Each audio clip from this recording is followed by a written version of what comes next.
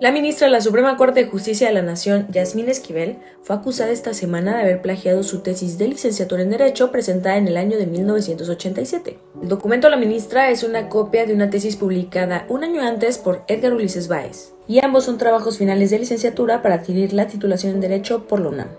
No sobra mencionar que Esquivel es candidata a presidir la Suprema Corte de Justicia de la Nación y es referida como la apuesta del presidente para dirigir el más alto tribunal de nuestro país. Perú declaró como persona non grata al embajador de México en Lima, Pablo Monroy, y le dio 72 horas para abandonar el país sudamericano.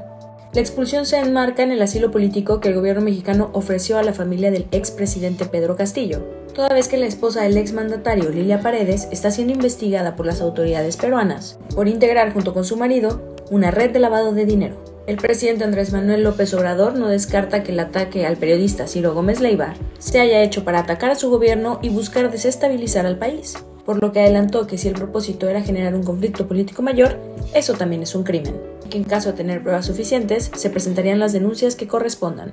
La Comisión de la Cámara de Representantes que analiza el asalto al Capitolio ha aprobado por unanimidad solicitar la imputación del expresidente Donald Trump por incitar o apoyar una insurrección, conspirar para defraudar al gobierno federal y para hacer declaraciones falsas a la administración. Lo anterior porque la negativa del expresidente Donald Trump a intervenir de inmediato para detener el asalto al Capitolio lo hace incapaz de ostentar cualquier cargo. Yo soy Ale Díaz de la Vega para Ángel Metropolitano en un poquito de contexto.